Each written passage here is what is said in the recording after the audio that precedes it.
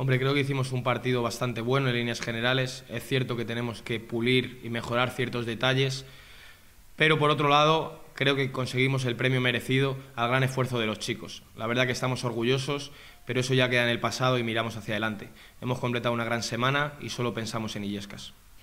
Una victoria siempre te da muchísima fuerza y refuerza un poco el plan de partido que tuvimos que al final salió prácticamente todo lo que teníamos preparado, creo que analizamos bien al rival y creo que supimos ponerlo en el campo en todo momento.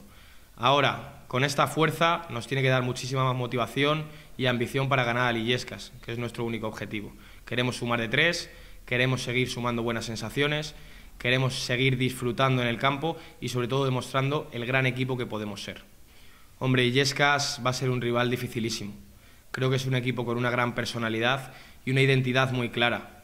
Al final va a ser un partido de tú a tú en el que ellos querrán brindar una gran victoria ante su gente, su primer partido en casa, vienen de perder ahí contra el Yaiza, partido complicado en las islas. Bueno, nosotros nos pensamos que va a ser un partido en el que ellos van a tratar de arrebatarnos el balón, en el que ellos van a mostrar, como te digo, muchísima personalidad y que nosotros tendremos que dar nuestra mejor versión si queremos tener posibilidad de sacar algo positivo. Estoy convencido de que tras la buena semana que hemos hecho estamos más que preparados y solo queremos demostrarlo el domingo para seguir con esta buena racha.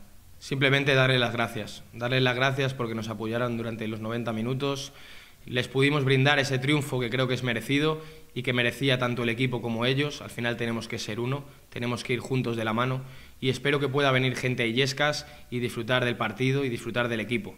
Al final nuestro único objetivo es mostrar el alma que creo que tenemos como club y como equipo y que volvamos a ser uno, que volvamos a demostrar que tenemos muchas ganas, muchas ganas de hacer un gran año, tenemos mucha ambición por hacer bien las cosas y seguir cuidando esos pequeños detalles que a la larga nos tienen que sumar mucho.